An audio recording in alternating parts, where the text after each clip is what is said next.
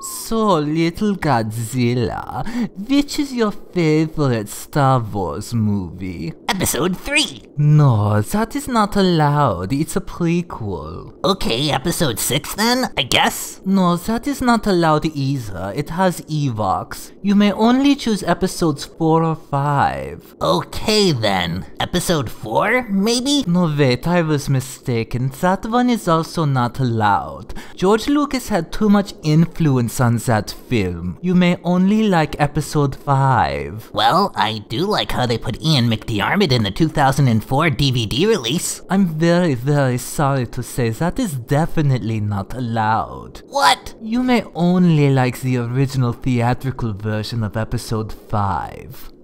That is all. Uh-oh, has this ever happened to you? Don't let him push you around. Dare to be yourself. Mm, no more. I like episode 3 the best. I'm allowed to like whatever Star Wars movie I want. And by the way, I think George Lucas is awesome, okay? So there. Alright, alright. Don't get your crate dragon all in a knot. Yeah,